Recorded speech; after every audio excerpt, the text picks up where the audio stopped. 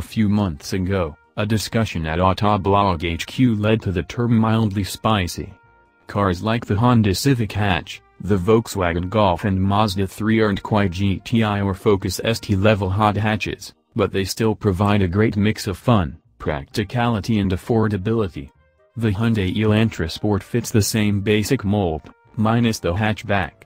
That's why we were so eager to get behind the wheel of the new Elantra GT Sport. Same premise, better form factor. The Elantra GT and sedan aren't as closely related as their name might suggest. The GT is actually based on the European i30 hatch, which is why the styling for the two models differs both inside and out. Think Volkswagen Golf and Jetta. The suspension tuning is also slightly different, but both cars share the same turbocharged 1.6-liter inline-4, mated to either a 6-speed manual or a 6-speed dual-clutch transmission. It's good for 201 horsepower and 195 pound-feet of torque. That's roughly equal to the new 2017 Honda Civic Si, though the Honda weighs a few hundred pounds less than the Elantra.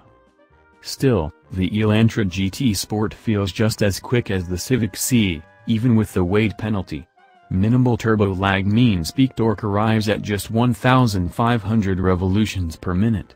From there, power comes on smoothly, with all 201 horses running free at 6,000 revolutions per minute. The smooth shifter and well-placed clutch are a perfect match for the engine, even if it's not quite as slick as the Hondas. The dual clutch is a $1,000 option, but stick with the manual unless you really can't deal with three pedals. Michigan roads are known for being flat, straight and pockmarked.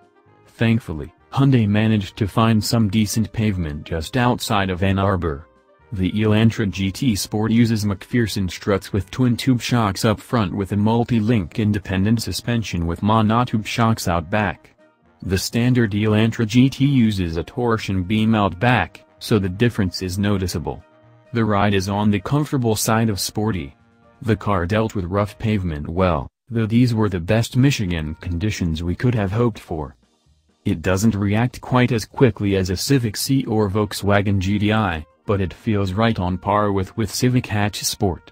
Body roll is minimal and, given enough leeway, you can get the back end to rotate slightly when lifting off the throttle. There's mild understeer, but nothing egregious. The steering is firm and quick, but there's some disconnect between what's going on with the tires and the feedback through the wheel. Hyundai still hasn't quite nailed steering feel like the Germans or Japanese, though the Koreans are quickly catching up. Likewise, the brakes are good, but not outstanding. The pedal is firm, but the Elantra GT Sport doesn't feel like it scrubs speed as quickly as the competition. We're sure the new i30N packs even sharper steering and better brakes. Sadly, we're not getting that car here. Hyundai says we're getting an unnamed and tuned model instead. While it won't say what that car will be, we're pretty confident it's the second generation Veloster. We saw camouflaged versions in Korea. Those cars are much more in line with the traditional hot hatch formula, with an electronic limited slip differential, adjustable suspension and a 2.0-liter turbocharged inline-4 making 271 horsepower. Still, Hyundai is very vocal about not wanting to compare this car straight